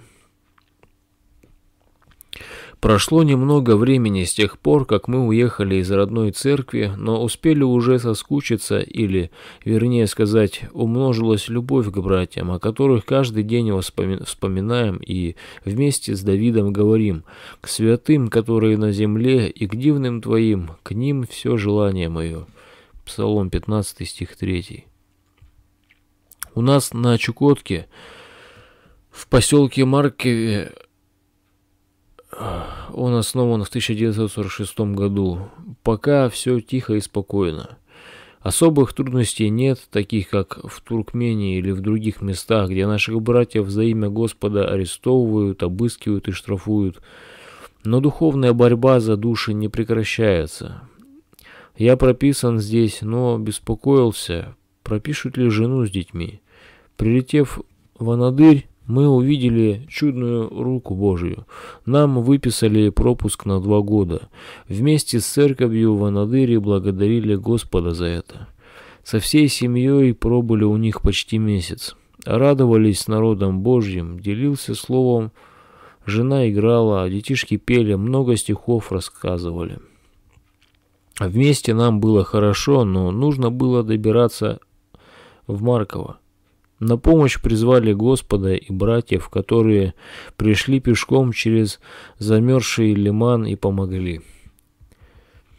В Маркове два месяца стояли морозы до минус 46 градусов. Дома нормально, но когда проходит служение библиотеки, хотя и одеваешься потеплее, за два часа все равно остываешь. С библиотекой стоим возле хлебного магазина. Это самое посещаемое место. Все, все нуждаются в хлебе насущном. Но удивительное дело, хлеб жизни, Слово Божье, которое бесплатно предлагается, брать не хотят. Боятся друг друга, сковывает ложный стыд. Люди ожесточены, говорить о Боге с ними трудно. Богатые отказываются. Зачем мне Бог? У меня всего хватает. А бедные ропщут. Зачем мне Бог? Мне кушать нечего. Тем не менее, есть искренние души, с которыми беседуем. Денег рабочим почти не выдают, хлеб дают по спискам. В месяц можно покупать на 300 рублей. Кто съел этот хлеб за неделю, остальное время должен жить как придется. У многих и хлеба нет, он стоит 19 рублей килограмм. Живут в глубочайшей нужде. В магазине все дорого, но не потому, что кто-то взвинчивает цены, просто перевозка дорогая. Конечно, условия жизни нелегкие, но самое удивительное, что люди, лишенные самого необходимого, к Богу относятся очень плохо. Цепи неверия настолько их сковали, что они совершенно безразличны к своему будущему в потустороннем мире. Им лишь бы здесь как-нибудь дотянуть до могилы, как говорят некоторые. В квартирах не прохладно, а холодно. Не завезли топливо для котельной, и поэтому его экономят. Топят только для того, чтобы не разморозились трубы. Батареи в квартире холодные. И только когда мороз достигает минус 40, батарея становится чуть теплее. Детишки в доме ходят одетые и в валенках. Электричество дают каждый день с 18.00 до 23.00. За это слава Богу. Раньше люди вообще не имели понятия об электрическом свете. Пищу готовили на электроплитах, а чай кипятим в электрочайниках. Жители устанавливают в квартирах печки, трубу выводят на улицу через форточку. Думаю, сделать небольшую печку, чтобы под, под, подогревать еду днем. На богослужении все сидят одетые, однако, несмотря на холод, никто не болеет и верим, что не заболеет, а если что и допустит Господь, то ко благу. Материальные трудности не тревожат ничуть. Неудержимо одно желание – исполнить волю Божию и совершить дело, на которое послал Господь через церковь. Пусть в квартире не будет света, лишь бы во многих сердцах грешников засиял свет спасения, чтобы они обратились от тьмы к свету, от власти сатаны к Богу. На улице холодно, в квартире холодно, а в душах людей еще холодней. Скоро солнышко теплом согреет Чукотку, но как согреть души людей? Как просить Господа, чтобы Он растопил лед неверия в равнодушных сердцах? Приглашаем на богослужение. Приходите, пожалуйста, побеседуем, помолимся но людям некогда. Заботятся о бытие, чтобы накормить и согреть тело, этот прах земной. Но, слава Богу, сегодня помимо нашей семьи есть в Маркове еще три души, искренне любящих Господа и переживающих рождение свыше, переживших рождение свыше. Самый первый живой камешек – 17-летняя девушка. Она еще учится в школе и переносит много насмешек и поруганий не только от одноклассников, но и от преподавателей. Ее мама сначала противилась истине и старалась причинить ей боль, но Господь совершил чудо, она покаялась. Теперь они вместе радуются и молятся, чтобы их родные и односельчане могли обратиться от мертвых идолов к живому Богу. Они, как самарянка, свидетельствуют о Господе всем близким и знакомым. Господь оказал милость и 58-летнему мужчине, который всю жизнь мучился в этой грешной жизни, искал истину и, слава Богу, нашел спасение. Он часто в собрании молится. «Господи, я всю жизнь искал Тебя. Наконец приехали верующие, рассказали о Боге, и мне так хорошо на сердце. Как я хочу, чтобы и мои односельчане уверовали, став на истинный путь». Есть еще души, находящиеся недалеко от Царства Божия, но земная суета пока держит их. Прежде чем сюда пришло истинное благовестие, харизматы посеяли заблуждение. Как сорняк растет очень быстро, так молниеносно распространяется и ересь. Жаль души, попавшие... Жаль души Жаль души, попавшие под обольщение. Их умы ослепил сатана, и они не принимают истинного благовествования. Местные харизматы ничем не отличаются от мира сего. Их служитель, работник клуба, на праздниках пляшет на сцене так, что даже неверующие возмущаются. Какой же он верующий? Апостол Петр говорит, что через них путь истины будет в поношении. Второе послание Петра, вторая глава, первый, второй стихи. При встрече с ними приходится разъяснять им здравое учение. Приглашаем на служение, но мне кажется, что легче обратиться к Богу неверующему человеку, чем попавшему в заблуждение. Большая ответственность лежит на тех, кто поехал жить и трудиться в, отдален... в отдаленные места среди незнающих Бога. Жители наблюдают за каждым нашим шагом. Одно неосторожное слово или дело, завтра весь поселок будет знать, да еще и искаженный, в искаженной форме. Поэтому нужно быть предельно осторожным во всем. Пассажирский самолет летает в Марково раз в две недели, но иногда из-за непогоды бывают задержки. Сложнее обстоит дело с поселками, которые вокруг нас – Туда трудно добраться, так как рейсовых вертолетов нет, только санитарные по причине несчастных случаев. Расстояние до ближайших поселков 100-200 километров, как будто и недалеко, но все равно пешком не дойдешь. Тем не менее, невзирая ни на что, нужно с Божьей помощью и туда когда-нибудь плыть, или ехать, или лететь, чтобы и там проповедовать. Передайте от нас привет всей церкви. Благодарим за молитвенную и материальную поддержку.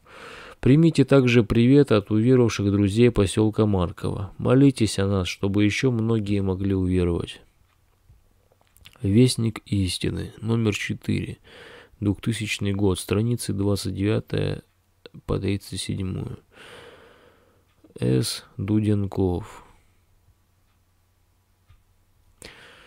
И вот как описывается миссионерская работа католических иезуитов. Когда индейцы уже были крещены насильно, то было замечено, что они в лесу снова молились своим богам. Был дан приказ уничтожить всех, как совратившихся в ересь. В Бразилии уничтожительная война против индейцев в провинции Минаси продолжалась до новейшего времени. Еще ныне существуют люди, для которых охота за индейцами составляет величайшее наслаждение, и которые дрессируют для этого собак. Трофеями своего подвига принес 300 ушей бесчеловечно умершленных индейцев в, Мекс... в местечке Санта Матеус на юге от Мукури.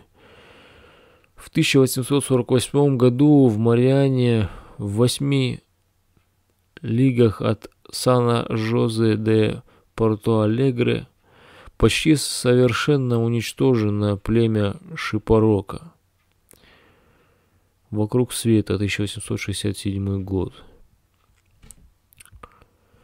Когда Наполеон, сосланный на остров Святой Елены, доказывал величие Христа своему генералу, который перебывал, э, который пребывал с ним, в чем разница поклонения, какое воздают Христу императору, то добавил, «Если вы этого не поняли, то я жалею, что поставил вас генералом».